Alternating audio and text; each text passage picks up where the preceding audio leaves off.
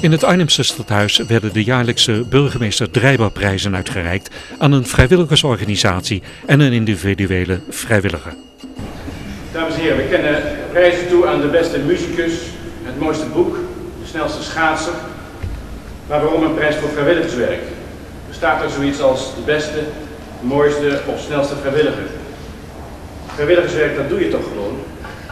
Een gemeente kan een casco van de stad neerzetten, maar het zijn de burgers die dit casco inrichten tot het huis waarin we ons veilig en vertrouwd voelen en waar het aangenaam toe is.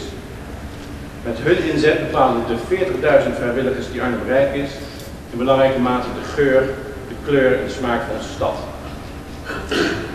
Job Treiber, die van 1980 tot 1989 burgemeester van Arnhem was, die begreep dat. Hij vond dat de maatschappelijke betekenis van vrijwilligerswerk zwaar onderschat werd.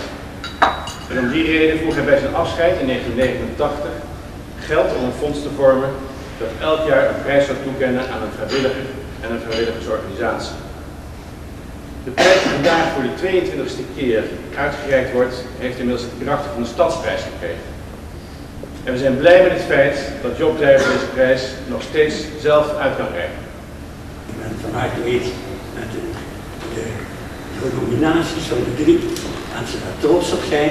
En ik ben ook eens de keuze voor het inloophuis.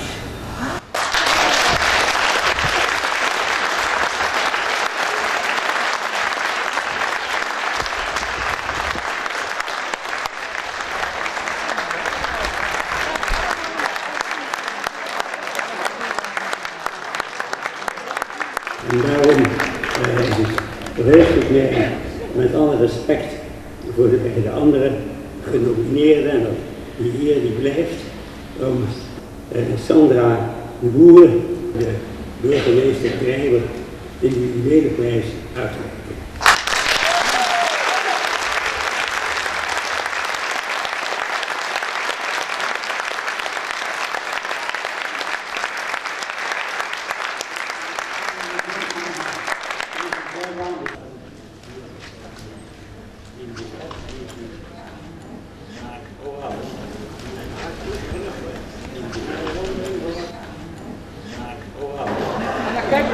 U mijn kant op alsjeblieft.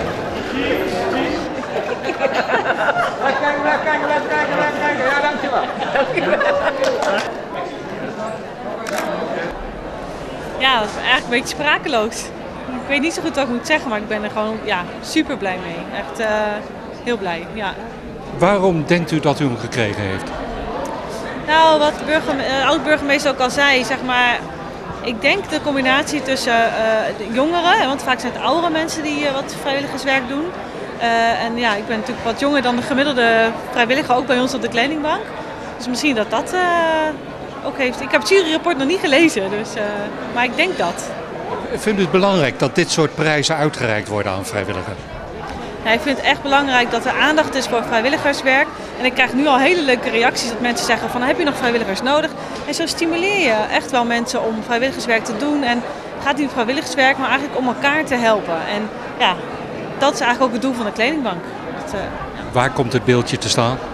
Op de kledingbank. Ja, dit is echt voor de hele kledingbank. Dus uh, zo zie ik het.